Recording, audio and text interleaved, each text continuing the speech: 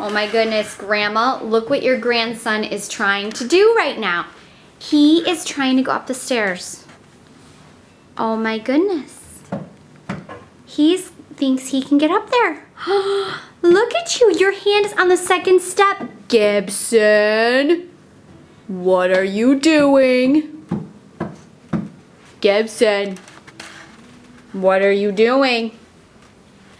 Mama doesn't want you to do that. Not yet. That's right. Where do you think you're going?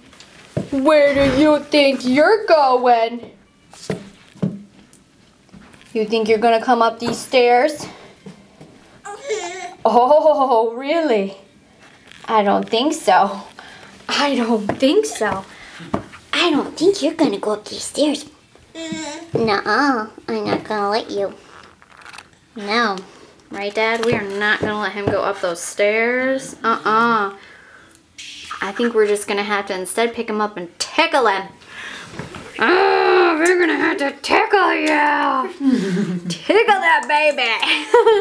Look, his hair's all messed up. It's so cute. Yay, saved you from the stairs. All right, buddy. No more stairs playing, I'm sorry. We're going to turn this off. Okay.